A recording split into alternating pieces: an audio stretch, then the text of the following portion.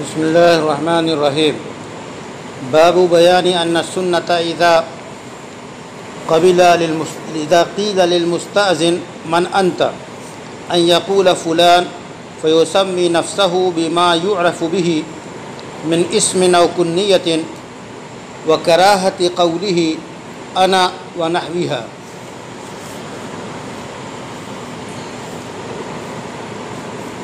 ये बताया गया है कि जो शख्स किसी के मकान में या किसी के यहाँ जाते वक्त इजाज़त तलब करे, जब उससे पूछा जाए कि आप कौन हैं तो वो ये न कहे कि मैं मैं हूँ, बल्कि अपना ऐसा नाम बताए जो मुतारफ़ हो, जो सही नाम हो नाम बताए, या जिस नाम के ज़रिए वो पहचाना जाता हो वो बताए।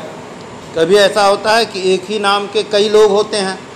तो अगर एक नाम बताया तो वो ये समझेंगे कि जो है, हो सकता है दूसरा हो। तो ऐसे नाम और ऐसा तारुफ कराए कि वो पहचान सके जिसके पास आप जा रहे हैं। और मैं ये ना कि आप पूछा जाए कि कौन है तो वो कह रहा, मैं हूँ। अब ज़ाहिर है कि मैं जब वो कहेगा तो ज़रूरी नहीं है कि वो आपकी आवाज़ पहचान रहा हो। तो वो फिर जो है गलतफहमी में उसका शिकार होगा, फिर दोबारा सवाल करेगा। इसलिए आप जब ये सवाल किया जाए आने वाले से कि आप कौन हैं तो ऐसा नाम बताया जाए जिस नाम से पहचान लें। इस सिलसिले में पहली रवायत अनाना सिन रज़ी अल्लाह फ़ी हदीस मशहूर फ़िल इसरा, काल क़ाल रसूलुल्लाह सल्लल्लाहु अलैहि वसल्लम सुम्मा सुईद बी जिब्राईल इलस्समाए अद्दुनिया फस्तफ्तह फ़कील मन हादा क़ाल जिब्राईल क़ील वमम मअक क़ाल मुहम्मदुन सुम्मा सईद इलस्समाए सानियति वस्सालिसति वर्राबिअति वसाइरिहिन्न वयुक़ालु फ़ी बाब कुल्लि समाइन मन हादा फ़यक़ूल जिब्राईल मुत्तफ़क़ुन अलैहि ये पहली हदीस इस बाब में नकल की है कि जाने वाले का या जो इजाज़त चाहे उसका तारुफ चाहिए। हज़रत अनस से रवायत है और ये हदीस हज़रत अनस की मेराज के क़स्से में काफ़ी मशहूर है।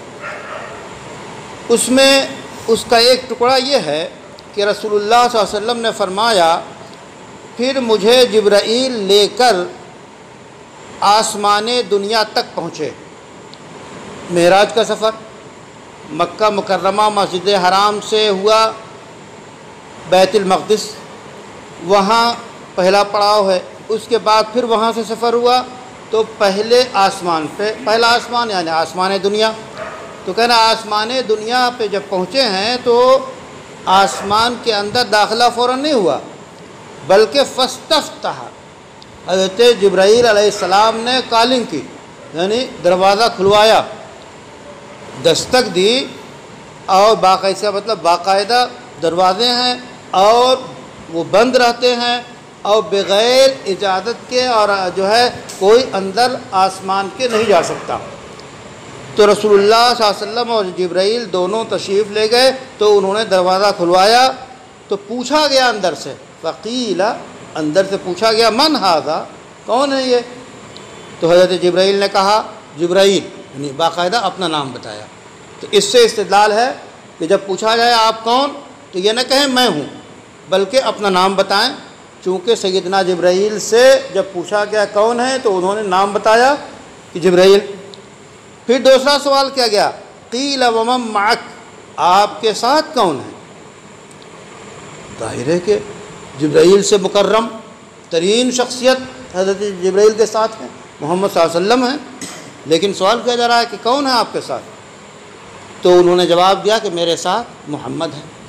तो गोया जो जिसने दरवाज़ा खुलवाया, इजाज़त चाही, उसका नाम पूछा गया तो उन्होंने अपना नाम बताया। फिर ये पूछा गया, आपके साथ कौन है? तो मोहम्मद वसल्लम का नाम बताया गया। तो इससे ये पता चलता है कि अगर आप कहीं जाएँ और तनहा आप ही के लिए जो है दावतनामा हो तो दूसरे को बग़ैर बताए साथ नहीं ले जा सकते। या कहीं आपको तनहा जाना हो और किसी को आपने साथ ले लिया तो ये बताना पड़ेगा कि मेरे साथ और लोग हैं, फ़लाँ फ़लाँ हैं। जहाँ जहाँ मुतारफ़ हो, आम इजाज़त हो, वहाँ का मसला अलग है। लेकिन जहाँ ख़ास आपकी मुलाकात हो तो अगर कोई आपके साथ है तो तय पहले से उनका नाम बताना और उनका तारुफ भी कराया जाएगा। तो हज़रत जब्राईल ने अपना नाम बताया और ये भी बताया कि हमारे साथ मोहम्मद वसल्लम हैं। फिर हदीस में आता है कि फिर हज़रत जब्राईल दूसरे आसमान पे गए, फिर तीसरे आसमान पे गए, फिर चौथे पे गए और सारे पे गए। यानी पाँचवें पे, छठे पे, सातवें पे और हर आसमान पे यही पेश आया कि उन्होंने इजाज़त चाहिए अंदर से पूछा गया आप कौन? उन्होंने बताया जब्राईल पूछा गया आपके साथ कौन? बताया गया मोहम्मद वसल्लम। तो इस तरह हर जो है, गोया, वो युकालफ़ी बाब कुल्ली समा और हर आसमान के दरवाज़े पे यही सवाल किया गया कि, मन हादा, कौन है आप? आपके साथ कौन है? तो इसी तरह वो बताते रहे कि जब्राईल हैं और मेरे साथ मोहम्मद वसल्लम हैं। तो गोया, इस, ये लंबी हदीस है, उस हदीस का वो टुकड़ा जिससे ये बयान करना मकसद हो कि जो शख्स कहीं जाए और उससे पूछा जाए कि आप कौन हैं तो वो अपना साफ़ साफ़ ऐसा नाम बताए जिसके ज़रिया उसे पहचाना जाए।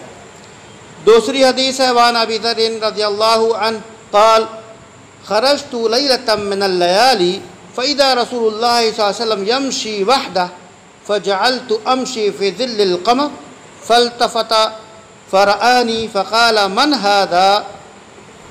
फ़कुल तो अबू ज़र मुतफ़न अबू ज़र से रवायत है रज़ी अल्लाह ताला फरमाते हैं कि एक रात मैं निकला बाहर तो दया क्या देखता हूँ कि रसूलुल्लाह वसल्लम तनहा चल रहे हैं। मैं आप रोशनी के चांदनी में मैं भी चलने लगा। चांदनी में, चांदनी का एक सायत होता है, एक तरफ़ चांदनी होती है, एक तरफ़ जो है रोशनी और एक तरफ़ साया जैसा लगता है। तो चांदनी के साय में मैं भी चलने लगा। तो आप सल्लल्लाहु अलैहि वसल्लम ने मुतवजे हुए और मुझे आपने देख लिया। तो फ़ौर आपने पूछा, मन हादा कौन है ये? तो आप को एहसास हुआ, कोई है? तो आपने पूछा, कौन है ये? तो हज़रत अबू ज़र कहते हैं, मैंने अर्ज़ किया अबू ज़र। तो इससे भी पता चला कि अपना नाम बताना चाहिए, साफ़ सुथरा जब पूछा जाए आप कौन हैं। ये भी बुखारी और मुस्लिम की रवायत है, इससे पहले वाली भी रवायत बुखारी और मुस्लिम की है। तीसरी रवायत है, वह अनहानी जिन रदी अल्लाह कालत अतईतुलनबी सल्लल्लाहु अलैहि वसल्लम, वो यग तसिर व फ़ातिमत तस्तुर फ़काल मन हादी फ़का फ़कुल तो अना उम्महानी मुतफ़न उम्महानी से रवायत है, वो कहती हैं कि मैं रसूल, हाजिर हुई रसूलुल्लाह वसल्लम की खिदमत में तो आप वसल्लम गसल फरमा रहे थे। और फ़ातिमा पर्दा किए हुए थे, किसी पर्दे से आड़ किए हुए थे। ज़ाहिर है कि ऐसे टॉयलेट और बाथरूम और गसल खाने थे नहीं उस वक्त। तो आप उसी घर में नहाए तो आपने हज़रत फ़ातिमा ने चादर से पर्दा कर रखा था। तो उम्महानी ऐसे वक्त में आई। जब आप को ये अंदाज़ा हुआ कि कोई साहिबा हैं तो आपने पूछा, मन हाथ ही, ये आने वाली कौन है? तो उन्होंने कहा, वो कहती हैं, मैंने कहा, अना उम्महानी उदू मैं उम्महानी हूँ। तो उन्होंने भी साफ़ नाम बताया और ऐसा नाम बताया जो मुतारफ़ था।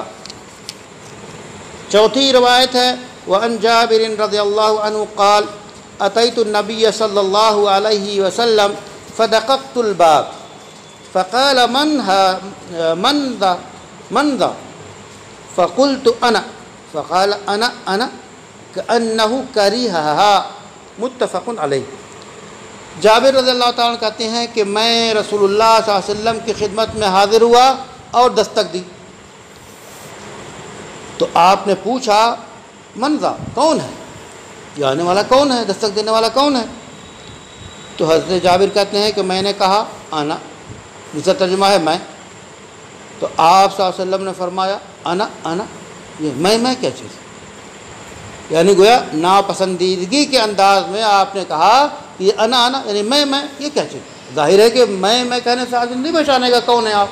तो नाम बताना चाहिए। ये भी बुखारी और मुस्लिम में मौजूद है रवायत।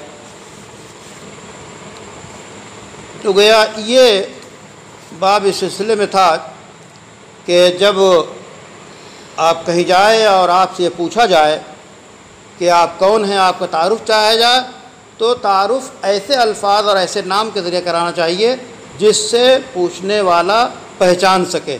सिर्फ़ मैं हूँ या आया हूँ या इस तरह का कोई लफ्ज़ नहीं कहना चाहिए, बल्कि उसका तारुफ कराना चाहिए मुकम्मल तौर पे। और जैसा कि बताया गया कि ये हर दौर में इजाज़त लेने के तरीक़े बदलते रहते हैं। आज का तरीक़ा जो है, आज जिस दौर में जो तरीक़ा हो इजाज़त लेने का, और जब पूछा जाए तो आपकी शख्सियत मुकम्मल तौर पे जहाँ आप जाएँ वो वाकिफ़ हो जाए, ऐसे ऐसा तारफ़ कराना चाहिए। जैसा कि मैंने अर्ज़ किया कि आजकल बहुत से शहरों में विजिटिंग कार्ड सबसे आसान है कि पहले कार्ड भेजने कार्ड है तो उससे कार्ड से आदमी पहचान लेता है कि आप कौन साहब हैं। तो जैसा जहाँ का तरीक़ा हो, जो आदाब हो, उस अंदाज में इजाज़त लेनी चाहिए। मकसद ये है ताकि न आपको तकलीफ़ हो और न जहाँ आप जा रहे हैं उन्हें तकलीफ़ हो, बल्कि न वक्त ज़ाय हो। अब वो तारुफ में जो है ज़्यादा वक्त लग जाए तो वक्त कीमती होता है। तो वक्त भी ज़ाय ना हो और तकलीफ़ भी ना हो, वहशत भी ना हो, बल्कि जो आम तरीक़े से मिलने जुलने के आदाब हैं उनको बजा लाने में दोनों के लिए राहत है। इस वास्ते रसूल अकरम ने ऐसे तरीक़े बयान किए। जो शरीयत के बताए हुए तरीक़े हैं और आपका बताया हुआ वही शरीयत है, अल्लाह से दुआ है कि हमें उन पर अमल करने की तोफ़ी अता फ़रमाए।